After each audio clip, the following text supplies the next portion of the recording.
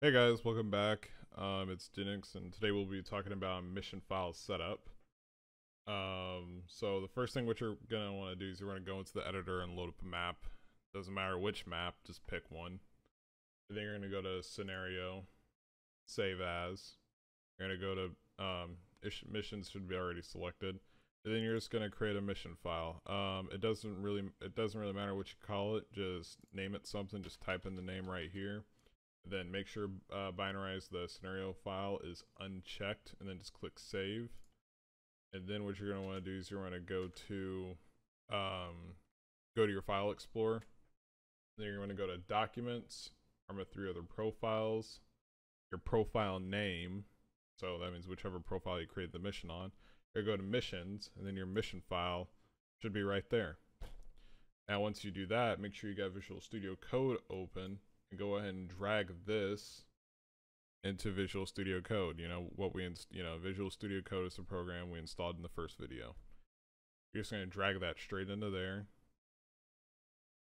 You can go and exit out of these if these pop up. That's just updates and whatnot. I'm going to go ahead and maximize this real quick. And you're going to create a couple files within your mission file. Now, mission SQM will already be there. That's the mission SQM is which holds all like the object data and all that other stuff. So that will that will already be there. But you're need to but you need to gonna you're gonna want to create. see here how many files we got like six files. So you're gonna want to create description.ext, init.sqf, init player local.sqf, init player server.sqf, init server.sqf and on player respawn sqf.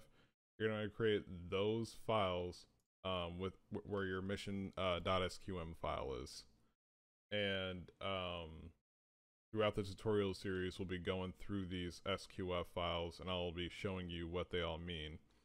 Um, the description.ext um, it is used to set overall mission attributes or to define global entities that will be available for other scripts.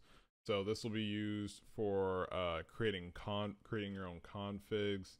Uh, this will be used for um, dialogue. We'll, we'll, we'll need to use this for dialogue. Um, and we'll be using it for a bunch of other stuff too. Uh, the init.sqf.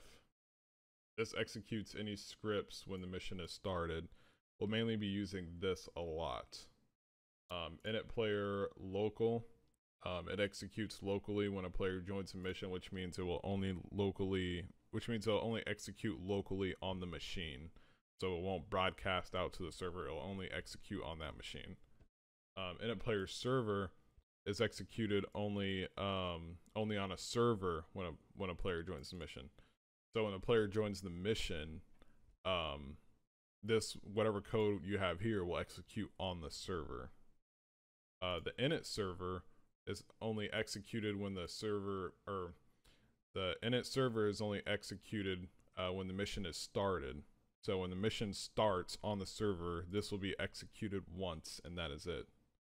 Uh, on player respawn is executed locally when the player respawns in a multiplayer session. So if you click respawn, it will execute anything within this uh, file and uh, yeah so the next uh, next video i will be doing will be an add action video. I'll show you guys how to use add actions. I'm gonna go and skip hello world. It's kind of pointless so let's dive right into it. And yeah i'll see you guys in the next video